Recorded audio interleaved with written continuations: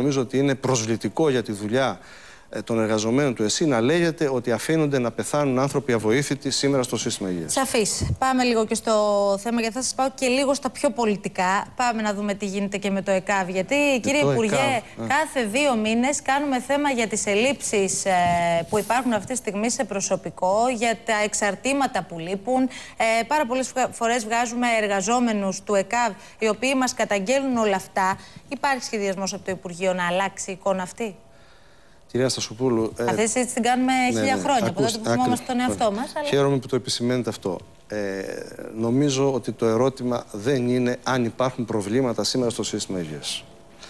Και στο ΕΚΑΒ και στις εντατικές και στα νοσοκομεία και στα κέντρα υγείας και παντού. Οφείλω Προφα... να σας τα ρωτήσω όλα. Προφανώς υπάρχουν. Θυμίζω ότι υπήρχαν πολύ πριν την κρίση, πολύ πριν τα μέτρα λιτότητας, πολύ πριν τις περικοπές.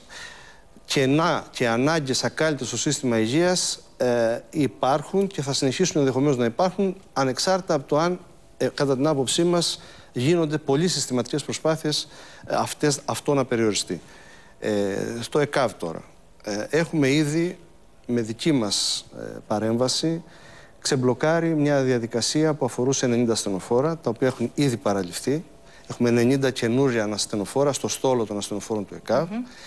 Θα έχει προκηρυχθεί ε, άλλη μία δέσμη νέων ασθενοφόρων που είναι νομίζω γύρω στα 96 και έχουμε ήδη μία προσφορά συμφωνημένη και υπογεγραμμένη από, τον, ε, από το Ίδρυμα Νιάρχος για την αγορά 143 ασθενοφόρων τα οποία θα ενισχύσουν το στόλο του ΕΚΑΒ. Άρα είμαστε σε μία φάση σημαντικής ανανέωσης του στόλου.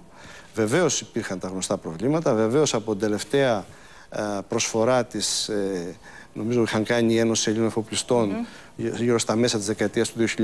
Έκτοτε δεν είχε προσθεθεί κανένα καινούριο ασθενοφόρο. Ήταν ένας διαγωνισμός ο οποίος είχε μπλοκάρει 5-6 χρόνια, διότι υπήρχαν στάσεις ανάμεσα στις εταιρείες. Καταφέραμε λοιπόν, το διευθετήσαμε, αποκόψαμε ένα κομμάτι, προχώρησε. Και αυτό το οποίο κάνουμε ταυτόχρονα όμως, γιατί αυτό είναι το κρίσιμο, είναι να ενισχύσουμε και με ανθρώπινο δυναμικό. Πέρσι προσλήφθηκαν 186 διασώστες του ΕΚΑΒ, μόνιμοι και περίπου τώρα άλλοι 140 είναι στη φάση της επιλογής. Λοιπόν. Άρα και εκεί γίνονται βήματα ε, να μας ασκηθεί κριτική για την καθυστέρηση ή για την μη γρήγορη ας πούμε διεκπαιρέωση αυτών των ε, προσλήψεων βεβαίως αλλά να μας ασκείται κριτική ότι συνειδητά έχουμε εγκαταλείψει το ΕΚΑΒ, τη δημόσια περίθαλψη, το σύστημα υγείας, ότι το αποδιοργανώνουμε, το οδηγούμε σε διάλυση κλπ. Νομίζω ότι αυτή είναι μια κριτική η οποία είναι άδικη. Είναι σκόπιμη; Είναι σαφέστατα σκόπιμη. Ε, εξυπηρετεί τις ανάγκες αναπαραγωγής και επιβίωσης μιας πολύ σκληρής συνδικαλιστικής γραφειοκρατίας και βεβαίως ταυτίζεται και συνεργεί με, την, ε, με τις ανάγκες ενός πολιτικού συστήματος το οποίο θέλει να δημιουργεί, της αντιπολίτευσης εννοώ, που θέλει να δημιουργεί μια εικόνα χάους, καταστροφής και διάλυσης ε, για τη χώρα, για την οικονομία, για το σύστημα υγείας, για τα πάντα. Λοιπόν, εγώ θέλω να πάμε λίγο τώρα στην, στο τελευταίο διάστημα και στην κόντρα που έχει ξεσπάσει μεταξύ κυβέρνησης και δικαιοσύνης. Και γιατί σας το ρωτώ αυτό, γιατί πάρα πολλές από τις αναρτήσεις που έχουν γίνει από τον αναπληρωτή Υπουργό Υγείας, από τον κύριο Πολάκη, έχουν πυροδοτήσει ε, ακόμη περισσότερο την κόντρα αυτή. Θέλω να σα ρωτήσω, κύριε Υπουργέ, αν συμφωνείτε με όλες αυτές τις αναρτήσεις και το ύφος κυρίως του κυρίου Πολάκη και αν κατά τη γνώμη σας ο ίδιος έχει δεχθεί πόλεμο, έχει δίκιο ή πολλές φορές είναι κάπως παρορμητικός; Κοιτάξτε, ε, εγώ καταρχήν ε, συμφωνώ απολύτως ότι δεν είναι κανένας υπεράνω κριτικής.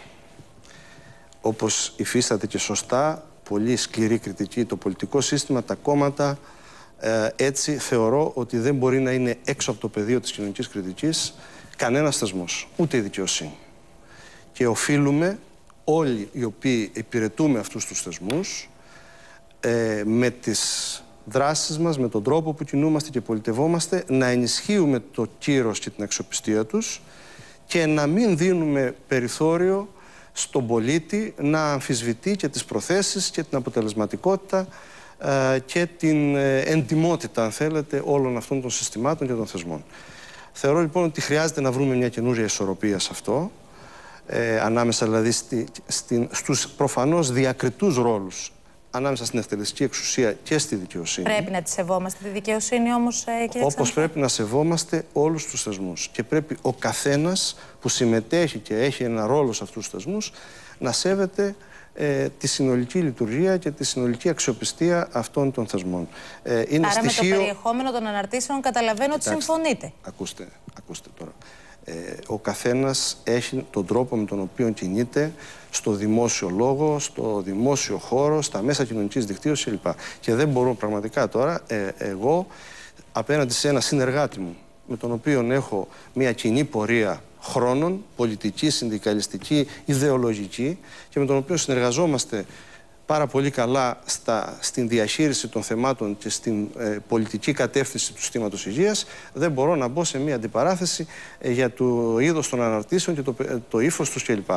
Ε, νομίζω λοιπόν ότι η προσπάθεια που χρειάζεται είναι να ξαναβρούμε μια καινούρια ισορροπία ανάμεσα στις σχέσεις του πολιτικού συστήματος της εκτελεστικής εξουσίας της κυβέρνησης και της δικαιοσύνης και θεωρώ ότι υπάρχει η οριμότητα από όλες τις πλευρές αυτό να ε, προχωρήσει το επόμενο διάστημα γιατί νομίζω ότι η κοινωνία έχει ανάγκη από μια αξιοπιστία όλων αυτών των θεσμών και το κυρίως το έχει ανάγκη η δημοκρατία. Εγώ θέλω να ρωτήσω κάτι άλλο. Είστε υπουργός από την πρώτη μέρα διακυβέρνησης του ΣΥΡΙΖΑ. Ήσασταν από εκείνους που είχατε αναλάβει τότε και είστε μέχρι τώρα ε, στο Υπουργείο. Θέλω να ρωτήσω στον απόϊχο των αποκαλύψεων, ο οποίος δεν σταματά, του Γιάννη Βαρουφάκη, αν όλα, κάτι από όλα αυτά που περιγράφει στις αποκαλύψεις του τελευταίο διάστημα, κύριε Ξανθέ, το είχατε ακούσει εσείς σε Υπουργικό Συμβούλιο; Στο Υπουργικό Συμβούλιο δεν ποτέ δεν συζητήθηκαν ε, τέτοια θέματα, ε, ούτε πλάν B, ούτε πλάν X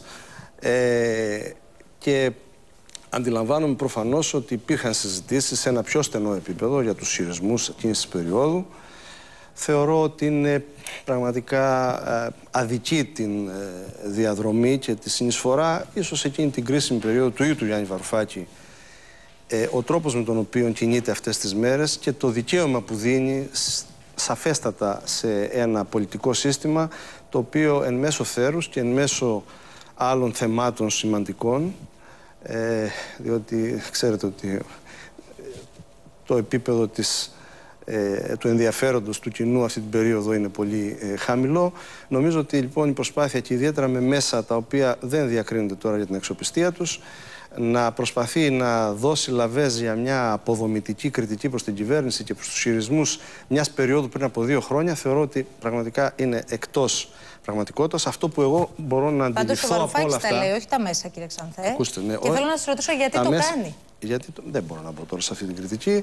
Εγώ είπα ότι κατά την άποψή μου ε, έχει, όπως ενδεχομένως και άλλοι άνθρωποι, ένα σύνδρομο εκ των υστέρων δικαίωσης. Αλλά, εν πάση περιπτώσει, το σίγουρο είναι ότι εγώ αυτό που καταλαβαίνω από όλη αυτή την περιραίουσα ατμόσφαιρα είναι ότι η χώρα μας και η διαπραγματευτική της ομάδα εκείνη την πολύ κρίσιμη περίοδο δεν ήταν δεδομένη, πραγματικά διαπραγματεύτηκε, πραγματικά εξάντλησε όλα τα περιθώρια, πραγματικά προσπάθησε να ε, διεμβολήσει το σκληρό τείχος των, των δανειστών, να δημιουργήσει ρογμές, να αναζητήσει συμμαχίες, να απειλήσει, να ε, ε, ενισχύσει ας πούμε τα επιχειρήματά της. Και όταν φυσικά είδε ότι αυτό δεν ήταν εφικτό, ότι οι συσχετισμοί ήταν συντριπτικά αρνητικοί εις βάρος της, τότε έκανε ένα πολύ σημαντικό συμβιβασμό, του οποίου τις παρενέργειες ε, βιώνουμε όλη αυτή τη διετία, που όμως κατά την άποψή μας με πολύ έντιμο τρόπο τέθηκε υπό την κρίση του ελληνικού λαού. Ο κόσμος είπε ότι αυτή τη συμφωνία, την επώδυνη, εσείς θέλουμε να τη διαχειριστείτε με εντιμότερο και δικαιότερο τρόπο. Το αν θα το καταφέρουμε αυτό θα κρυθεί στο τέλος της τετραετίας. Και θέλω να